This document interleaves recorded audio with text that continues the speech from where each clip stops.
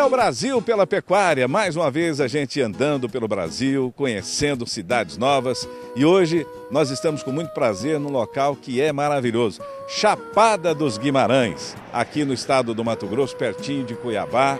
Um lugar que tem muito gado, aqui é Mato Grosso, né? o maior rebanho do Brasil. Aqui também tem produtos da Champion, aqui também a gente tem os produtos trazendo resultado, melhorando a produtividade dos animais. Então, esse é o nosso objetivo: andar pelo Brasil da pecuária, fazer novos amigos. Aquilo que a gente sempre fala, é bom fazer amigo, né? Então, nós vamos é, fazer uma longa viagem pelo Brasil. É o Brasil da pecuária, o Brasil que tem Champion, o Brasil que tem de Fly, tem de Fly 3, tem Vermissal. Então eu convido você para que esteja sempre conosco nessa nossa viagem. E saindo daqui da Chapada dos Guimarães, nós vamos andar pelo Brasil. Essa é mais uma cidade. Eu convido você para que a gente vá para outras cidades, para que a gente possa conhecer mais clientes satisfeitos, para que a gente possa conhecer o Brasil da pecuária que usa Champion.